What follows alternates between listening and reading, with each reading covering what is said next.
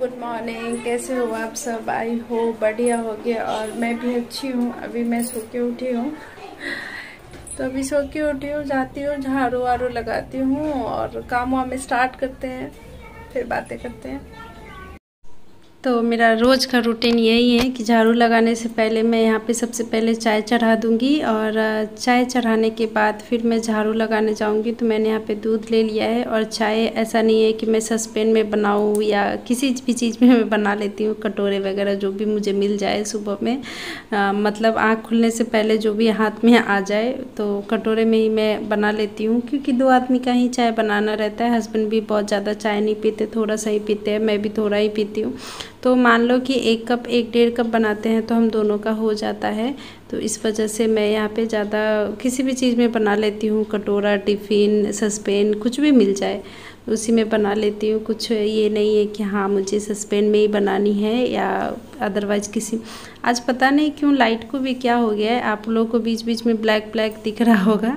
Light आ रहा है, जा रहा है, वैसे पता नहीं क्या हो रहा है। तो इस वजह से मैंने यहाँ पे चाय चढ़ा दिया है और दूध, चीनी चाय पत्ती मैं एक ही साथ डाल देती हूँ और गैस को पूरा मैं स्लो करके छोड़ देती हूँ। जब तक मैं झाड़ू पोछा करती हूँ ना बेड वगैरह अरेंज करती हूँ, जब तक मेरा चाय बन जाता है तो यहाँ पे मैंने मेट बिछा हुआ था, मैं उसको फोल्ड करके रख रही हूँ और जल्दी से बेड वगैरह भी सीधी कर ले देती हूँ। अक्सर मैं नाइट में कर लेती हूँ, लेकिन कभी कभी ज़्यादा लेट हो जाए या मन नहीं करता, या मैं बेड लगा के जाऊँ नाइट में और बेटा अगर मेरा जगह रहे तो फिर वही हाल हो जाता है जो आपको दिख रहा है। तो जल्दी से यहाँ पे मैं काम वाम कर लेती हूँ। तो झाड़ू लगा लिए हैं और उसके बाद हम चाय देख लेते हैं। चाय भी मेरी पूरी बन गई है, आप देख सकते हैं। मैं एकदम स्लो करके गैस को छोड़ दीजिए ना और बहुत कम चाय बना रहे तो बहुत अच्छे से एकदम थोड़ा टाइम लगता है, लेकिन जल जाएगा ना चाय तो काफ़ी अच्छा लगता है। मतलब बिल्कुल जितना चाहिए उतना आप रख लो और दूध मैं एक्स्ट्रा ऊपर से ज़रूर डालती हूँ क्योंकि टेस्ट और ज़्यादा अच्छा होता है। क्योंकि ईरानी चाय सुने होंगे, बहुत ज़्यादा फ़ेमस होता है। कभी उसकी भी रेसिपी शेयर करूँगी आपके साथ। तो बिल्कुल वैसे ही टेस्ट लगता है काफ़ी काफ़ी मतलब टेस्टी लगता है चाय तो मैं अक्सर ऐसे ही बनाती हूँ। दूध डालती हूँ और उसके बाद एक दो बार उबल जाता है तो गैस को फिर बंद कर देती हूँ। और हम लोग चाय पीने जा रहे हैं, इसके साथ में टाइम ज़्यादा हो गया है, नौ बज गए हैं। तो बेटे को भी मैं थोड़ा कुछ खाने को दे दूँ, क्योंकि छोटा वाला बेटा का तबीयत अभी आप लोगों को पता है, डेली वीवर्स होंगे तो कि उनका तबीयत बेटे का ठीक नहीं था, अभी फीवर हो रखा था तो उसका अभी अभी ठीक हुआ है। तो कुछ खाता पीता नहीं है तो जब तक खाना बनाऊँगी काफ़ी टाइम हो जाएगा। तो इस वजह से मैं उसको एप्पल और कुछ ड्राई फ्रूट्स और केला वगैरह दोनों को दे देती हूँ। तो उनका भी सुबह का काफ़ी अच्छा हेल्दी ब्रेकफास्ट हो जाएगा। तो मेरी रोज़ की यही रूटीन है। शायद कभी एक दो दिन बीच में छूट जाए, नहीं तो रोज़ का मेरा यही रूटीन है कि आँख खोलने से पहले मेरी चाय चढ़ जाती है, उसके बाद मैं झाड़ू लगाती हूँ, झाड़ू लगा के आती हूँ, उसके बाद बेटे को ड्राई फ्रूट्स या फ्रूट्स जो भी रहे, उसको मैं सुबह का ब्रेकफास्ट उसका डेली का यही करवाती हूँ। और उसके बाद अगर वो बोला कभी कभी मूड हो जाता है बच्चों का भी कि चाय पी ले और अब चाय बिस्किट खा ले तो इस वजह से कभी कभी चाय बिस्किट भी वो खा लेता है। तो देखिए, हम दोनों का चाय बन गया है। ये देखिए और आइए, आप भी सुबह की चाय पी लीजिए, है ना? तो ये देखिए मैं किशमिश रख रही हूँ और सारे ड्राई फ्रूट्स रख लूँगी, जैसे एप्पल है, बनाना है और काजू है, किशमिश है और आप अगर हम बच्चा मतलब पाँच साल का बच्चा है तो उसको आप चार से पाँच काजू दे दे सकते हैं। अगर आपका मेरा बेटा थोड़ा कमज़ोर है, जल्दी पचा नहीं पाता है छोटा वाला तो उसको चार से पाँच ही काजू देती हूँ। मैं गिनती करके देती हूँ और बड़े वाले बेटे को छः से सात काजू दे देती हूँ। तो इस तरीके से बेटे का मेरा जो है ब्रेकफास्ट पूरा रेडी हो गया है। ये देखिए, अब बस अभी मुझे ये खा लेगा ना तो मुझे भी टेंशन नहीं रहेगी कि वो भूखा है। नहीं तो ध्यान उसी पे अटका रहता है कि मतलब बेटा भूखा है भूखा है। तो चलिए उसको हम दे देते हैं, उसके बाद हम भी चाय पी लेते हैं।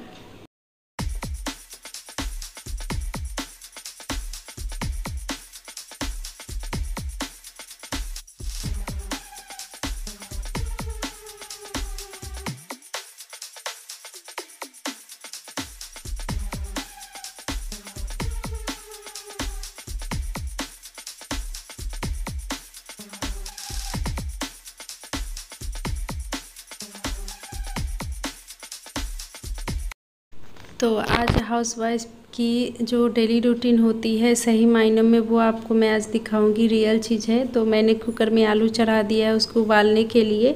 और उसके बाद हम क्या करेंगे कि यहाँ पे मैं सब्ज़ी बनाने की तैयारी कर रही हूँ क्योंकि हस्बैंड भी बोल रहे थे कि साथ में पूजा करना है दशहरा है आज। तो इस वजह से मैं दशहरे के दिन ये वीडियो बनाई हूँ और उसके कल होके अपलोड करूँगी। तो दशहरा है तो उन्होंने बोला आ, बोले कि कुछ अच्छा बना लो तो इसलिए मैं यहाँ पे क्या बनाऊँगी आपको स्टार्टिंग में पता चल गया होगा। तो दा आलू भर के कचौरियाँ बनाऊँगी और फिर कुछ नमक वाली कच सादी पूरी बनाऊँगी। मेरे यहाँ सादा पूरी बोलते हैं। और कुछ कचौरियाँ बनाऊँगी, खीर बनाऊँगी और सब्ज़ी बनाऊँगी। तो ये रेसिपी बनानी है आज। तो ये देखिए, मैंने दूध एक के जी चढ़ा दिया है और उसमें मतलब 250 ग्राम जितना पानी भी डाल दिया है। मैं मेज़र करके कोई भी चीज़ नहीं डालती हूँ, अंजादे से ही कर देती हूँ। क्योंकि अगर आप लोग बोलिएगा तो मेज़र करके भी दिखाऊँगी। क्योंकि मुझे इतना दिन से कर रही हूँ ना तो आदत हो गई है तो पता चल जाता है सब कुछ। तो यहाँ पे मैंने पानी और दूध दोनों मिक्स करके डाल दिया है इंडक्शन पे। वो आराम से होते रहेगा, उबलते रहेगा। और चावल वावल धो के जब एक बार दूध उबल जाएगा तो चावल धो के डालेंगे। अभी यहाँ पे परवल मैं छील रही हूँ, क्योंकि परवल क्या हो गया ना कि लहसुन प्याज नहीं खानी थी नवरात्रि में तो परवल लेके आए थे तो एक दिन इसकी सूखी सब्ज़ी बनाए थे बिना लहसुन प्याज की और उसके बाद छोड़ दिए थे तो ये सूख गई थी। तो इसको मैं थोड़ा सा ऐसे ऊपर से खखोर देते हैं ना, जैसे एक मोटी सी परत रहती है ना, उसको छील देते हैं ना। तो उसके बाद ये परवल काफ़ी अच्छे से सीज भी जाती है और टेस्टी भी लगती है। तो इसी को मैं परवल को ऐसे कर रही हूँ और जब तक आलू भी उबल जाएगा तो सारे परवल को मैंने कर लिया है उसके बाद धो के। इसको चार पीसेस में, एक परवल को चार से चार पीसेस में कट कर लेंगे सारे परवल को। देखिए, हमारी जो परवल है वो कट गई है और उसके बाद जो है दूध भी उबल रहा था तो मैंने चावल धो के रख दिया था पहले ही तो दूध में काफ़ी अच्छे से उबाल आ जाएगी। उसके बाद हम क्या करेंगे, चावल जो हमारे जितने भी आपको रिक्वायरमेंट है, जितना भी आपको बनानी है, उतना चावल धो के रख दें और जब दूध अच्छे से उबल जाए, उसके बाद उस चावल को दूध में डाल दें। तो हमारे गाँव में या हम भी ऐसे ही बनाते हैं, इस टाइप से बनाना में काफ़ी मतलब टेस्टी बनता है खीर तो इस तरीके से हम बनाते हैं।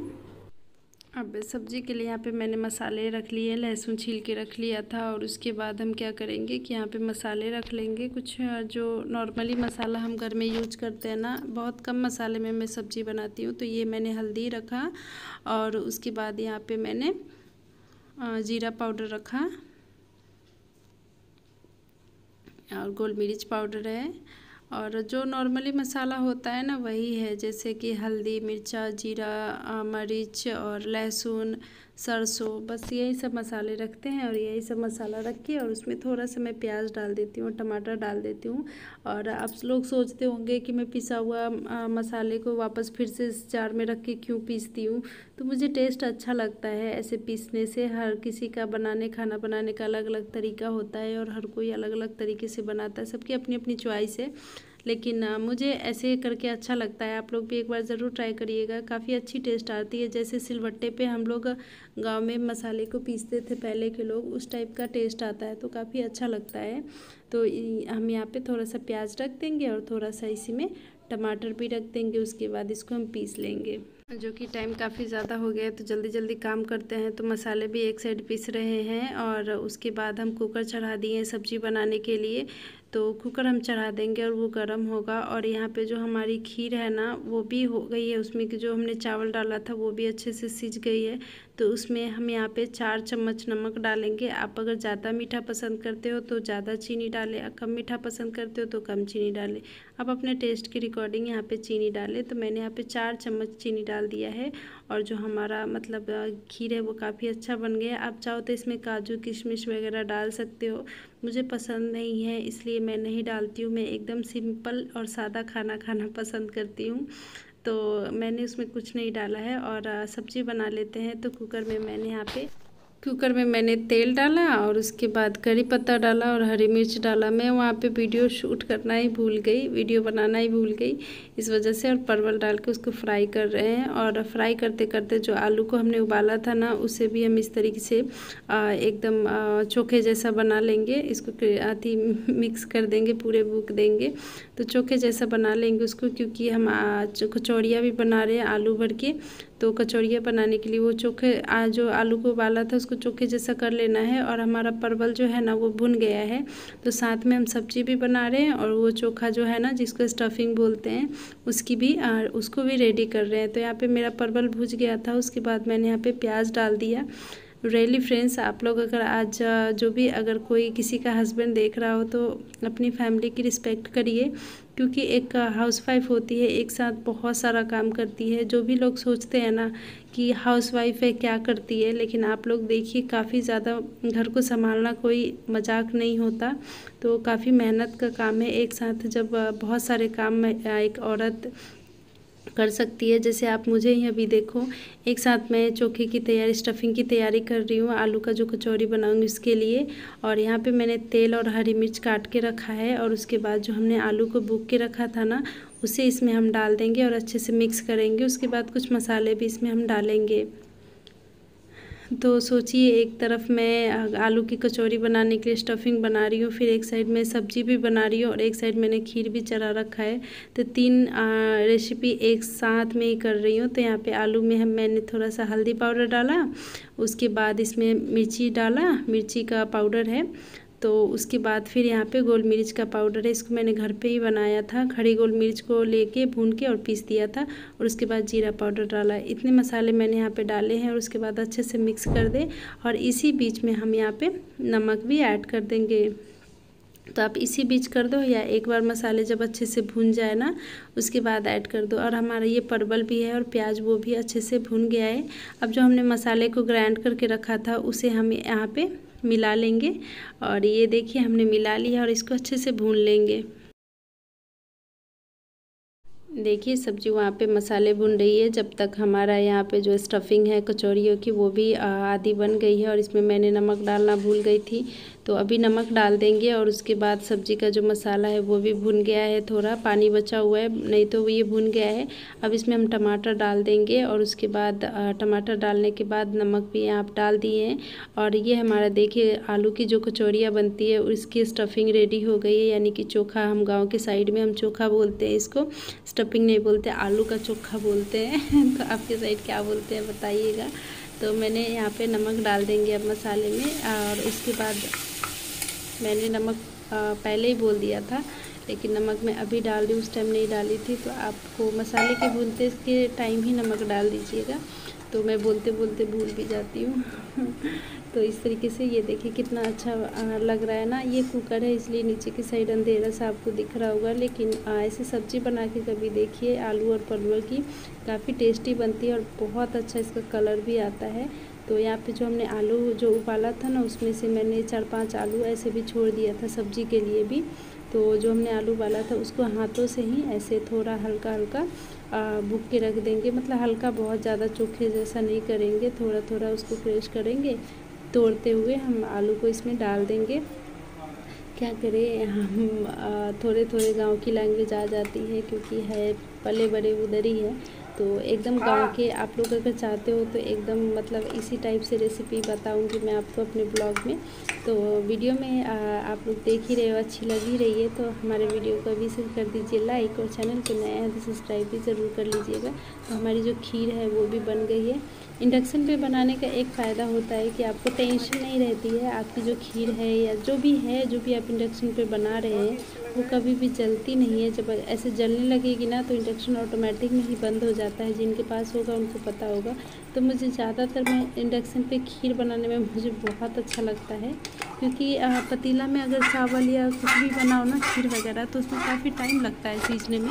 तो आराम से इंडक्शन पे आप चढ़ा दो और अपना नॉर्मल काम करते रहो। बहुत इजी काम है। तो मैं अक्सर खीर वगैरह बनाना होता है ना, सेवई वगैरह तो मैं इंडक्शन पे ही बनाती हूँ।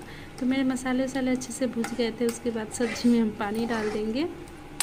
आप अगर सूखी सब्ज़ी बनाना चाहते हो तो थोड़ा कम पानी डालें। अगर, जैसे मैं सादी पूरी के साथ, नमकीन पूरी के साथ सब्ज़ी खाना चाहती हूँ तो मैं थोड़ी ग्रेवी वाली सब्ज़ी बनाऊँगी। तो थोड़ा सा ज़्यादा मैं पानी डालूँगी। अगर आपको सूखी सब्ज़ी पसंद है तो कम पानी डालें। उसके बाद हम क्या करेंगे, कुकर को अच्छे से बंद कर देंगे। तो देखिए, यहाँ पे खाना हमारा बन गया है और इसमें ज़्यादा मैंने कुछ नहीं किया। वीडियो काफ़ी लंबी हो रही थी तो इस वजह से बाकी थोड़े से मैंने नहीं दिखाए हैं। अगर आप लोग बोलिएगा तो मैं नेक्स्ट वीडियो में ज़रूर दिखाऊँगी। मैं ऐसे बनाती रहती हूँ तो इसकी रेसिपी कभी ना कभी पूरी शेयर कर दूँगी।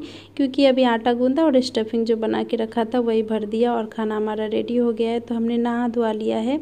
और उसके बाद हम क्या करेंगे कि जो है, खाना सर्व कर लेंगे, यानी कि दे देंगे, क्योंकि बच्चों को और हस्बैंड को भी काफ़ी भूख लगी हुई है। तो देखिए कितना मतलब कितना टेस्टी लग रहा है ऐसे सब्ज़ी देखने में और ये हमारी कचौरियाँ हो गई, जो हमने तली थी और ये नमकीन पूरियाँ हो गई और जो हमने खीर बनाया था, वो खीर भी यहाँ पर हम डाल देंगे। तो देख सकते हैं काफ़ी मतलब काफ़ी ज़्यादा टेस्टी बना है और आइए आप लोग भी खा लीजिए हमारे साथ। तो मिलते हैं फिर नेक्स्ट वीडियो में, तब तक के लिए bye bye take care thanks